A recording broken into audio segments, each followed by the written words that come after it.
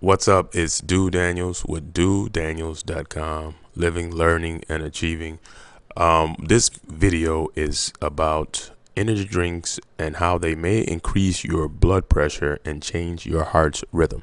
Now, I haven't even read this email, um, this article yet. It's by Michelle Castillo, CBS News, and um, but I'm going to read it live on this video because every once in a while, because I, you know, I, I, talk about health a lot because I take vitamins, minerals, supplements, and things to uh, increase my health or maintain my health, as well as a, a good diet and exercise. Uh, a lot of people who care about me always see something in the news. You know, my news watchers, and I love you and the thank you, but um, they they sometimes send me these little emails about something, a study on calcium, a study on different things. So today, uh, uh, I got an email or a phone call from uh, a dear person uh, in my family, and they told me that energy drinks cause high blood pressure and told me to stop immediately, stop drinking energy drinks. So I'm going to read this article live in this video so that we can see why we are supposed to stop. So right away, we see researchers are warning some energy drink fans that their habit may be taking a toll on their heart. And not the heart of the mind, but we're talking about their physical heart pumping the blood throughout their body. Now, a new study presented at the American Heart Association, AHA, 2013 scientific sessions in New Orleans revealed that energy drinks may increase blood pressure and change the heart's rhythm. Now, I want us to be readers of articles, we have to remember what we're dealing with. And I got that word circled there. May increase uh, blood pressure and change the heart rhythm. Now, we see, of course, a picture of Monster energy drink, and we're not putting Monster down, but we're going to read what this article is saying. So, right now, so far, we got may do these things. Now, energy drinks have made headlines recently with negative health reactions allegedly caused by the beverages. The FDA announced in November 2012 that it was investigating 13 deaths tied to five-hour energy drink. Now I remember this. It was um, and then you know I think the kids were the, the these energy drink companies will tell you not to not to take these energy drinks like more than one or two a day. I think two is like the max most of them say some of these kids that were overdosing on these drinks were drinking like six. So you you know you're bound to do something because these are herbs that are in these drinks that help uh, produce energy, which we'll talk about as we continue reading this article.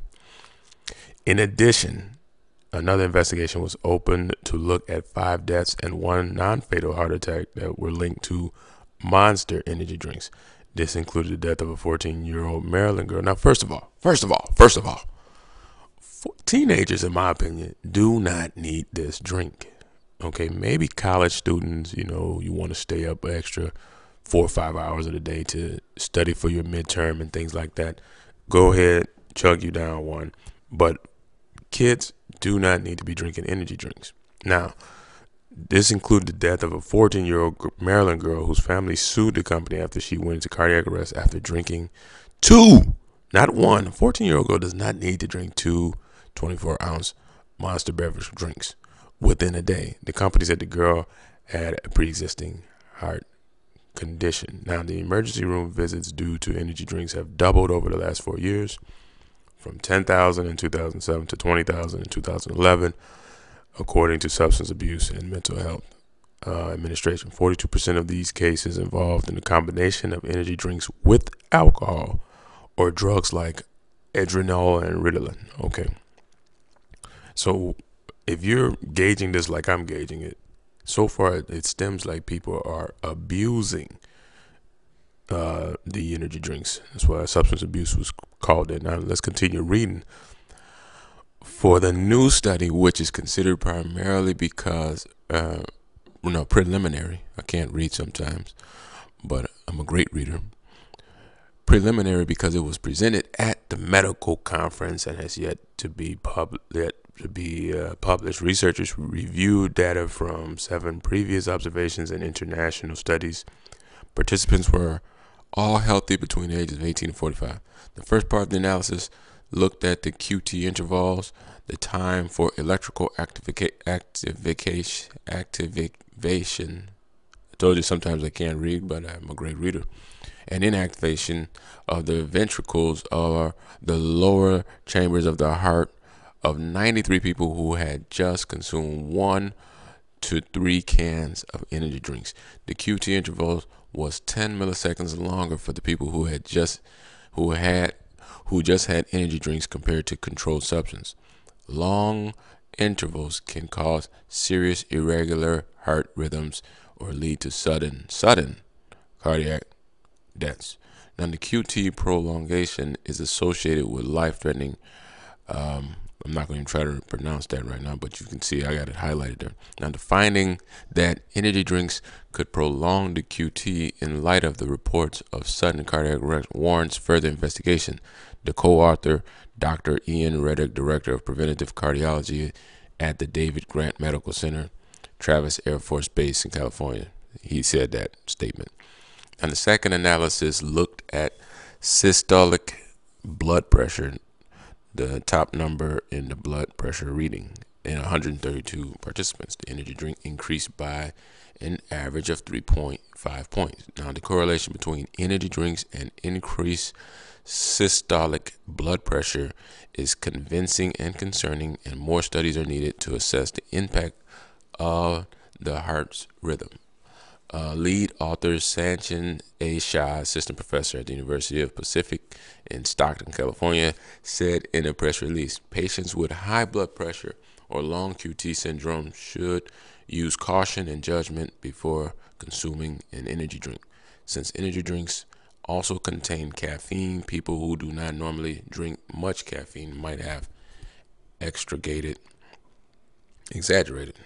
Told you I cannot read, but I can read very well increase in blood pressure. Okay, so in response to the study, the American Beverage Association told the CBSNews.com in a statement most energy drinks contain about half the caffeine uh, of a similarly sized cup of coffee, house coffee, and the body of the scientific evidence does not suggest that energy drinks, energy drinks cause adverse health outcomes. So that's the response from, of course, the ABA and the American Beverage Association because you're going to cut our sales. So we're going to say, hey, all this study stuff is a bunch of crock. But uh, there's something to this. Now, Dr. C.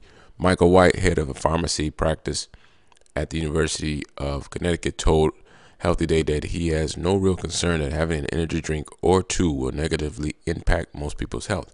However, there is enough information in this meta analysis to make me concerned that there may be pockets of populate of the population who may have an increased risk risk of adverse events, um, and more work needs to be done to see if this is true.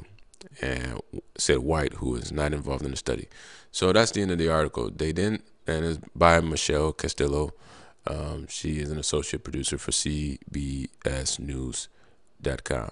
Great article, great, you know, to bring awareness to people. But look, the article never said, hey, this, they never even in the study said, okay, let's find out these certain ingredients in these energy drinks that may cause this. And I'm sure if you look at the average energy drink um, ingredients, most of them, of course, they're spiked with sugar. They they have a lot of um, of things in them that cause people to have heart problems you know, mainly the the caffeine, which is gonna bring alerts. Now, if you drink three cups of coffee a day, spaced out in like every six hours, you may be all right. If you drink an energy drink, three cans of energy drink for spaced out every like six hours, then you may be all right. Now, if you're drinking an energy drink at 12 noon, you drink another one at 1.30 or 1 o'clock, and then you drink another one at, man, look, that's not wise.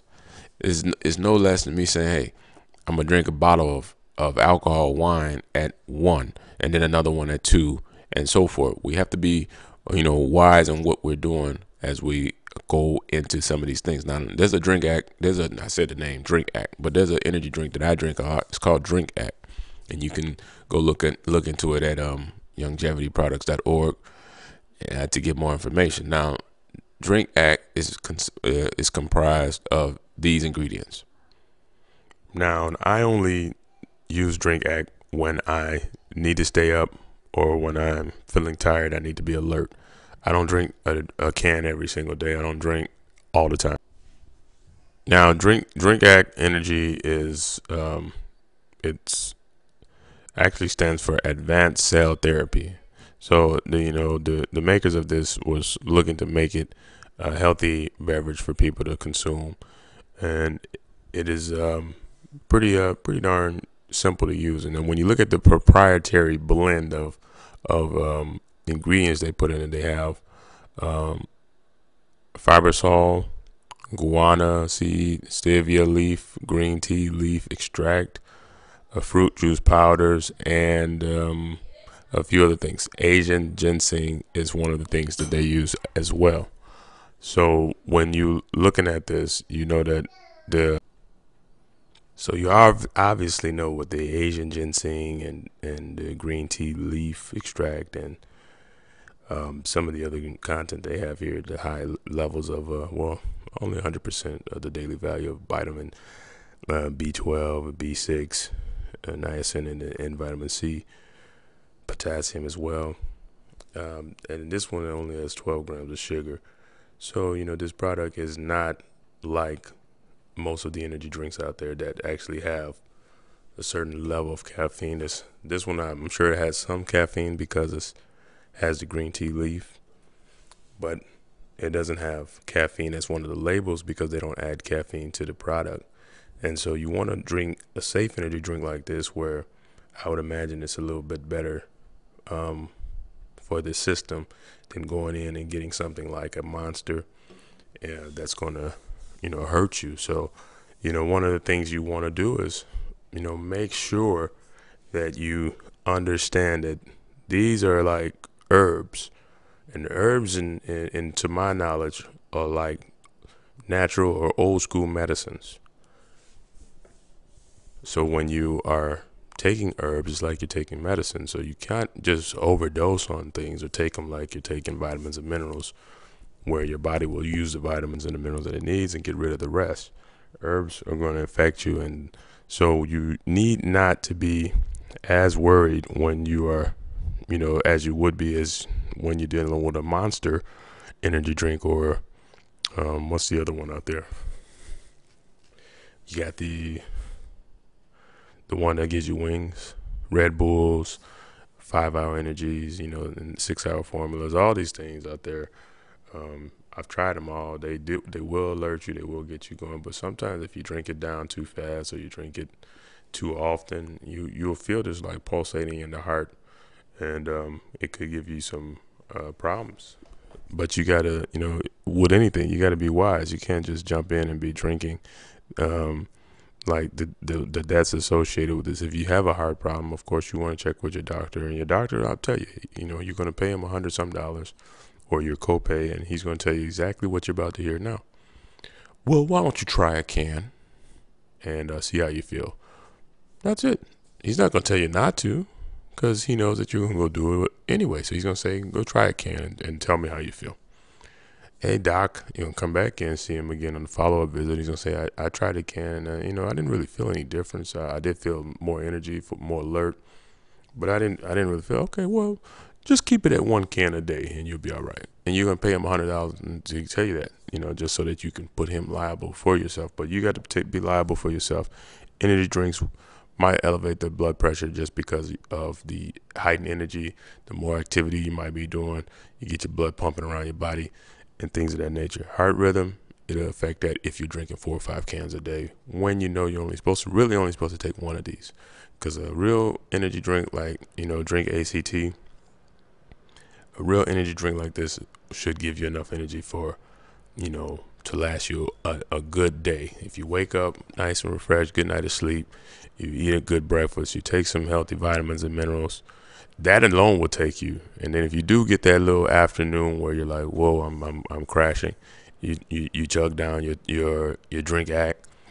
Um, for me, if I take one or two, I'm good all the way to like midnight with keen alertness, you know, unless my sleep habits have been changed, you know, if I traveled or if I'm doing projects that are keeping me up late, then, you know, all these things have um, what do you call a part in the results. So with that, um, I, I, appreciate my family, you know, sending me uh, anything related to these industries because I do like to be uh, on top of it and reading about it, and because I'm conscious of what I take myself and definitely conscious of what I share with um, all my followers and YouTube um, subscribers, Twitter followers, and newsletter, and people who are just with me in this um, in every endeavor. So that's my that's my uh, time.